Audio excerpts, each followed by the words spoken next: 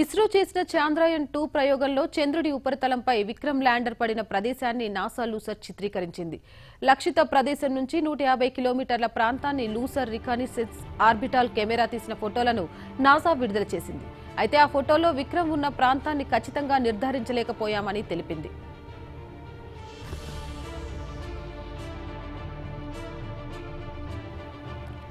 September ఏడున చంద్రుడి ఉపరితలంపై దిగాల్సిన చాంద్రాయన్ టూలోని విక్రమ్ ల్యాండర్ చివరి క్షణంలో భూమితో సంబంధాలు కోల్పోయింది.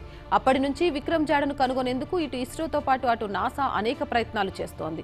దివిలో భాగంగా ఈ నెల పదిహేడున నాసా లూనర్ కెమెరా కొన్ని ఫోటోలను తీసింది. అయితే చిత్రాలు తీసిన సమయంలో విక్రమ్ దట్టమైన నీడలో ఉండి ఉంటుందని నాసా అభిప్రాయపడుతోంది. అక్టోబర్లో వెలుతురు ఉన్న సమయంలో మరోసారి ఈ ప్రాంతంలో చిత్రాలు తీస్తామని నాసా శాస్త్రవేత్తలు వెల్లడించారు.